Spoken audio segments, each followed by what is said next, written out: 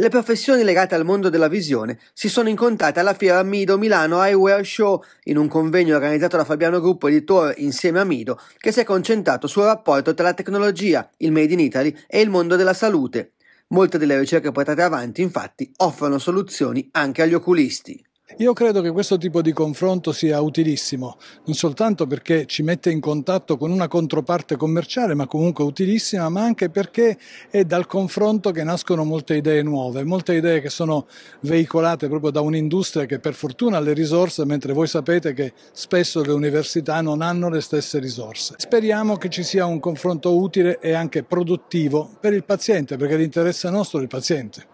L'incontro si è focalizzato sul modo più efficace per utilizzare la tecnologia in una visione futura che rispetti le due principali categorie che lavorano nel comparto, la classe medica e i professionisti ottici. Noi abbiamo eh, un'attività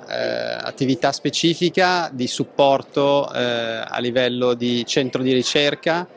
quindi collaboriamo con l'università, cerchiamo di eh, favorire il dialogo fra le professioni, quindi chiarezza sul ruolo dell'ottico rispetto al medico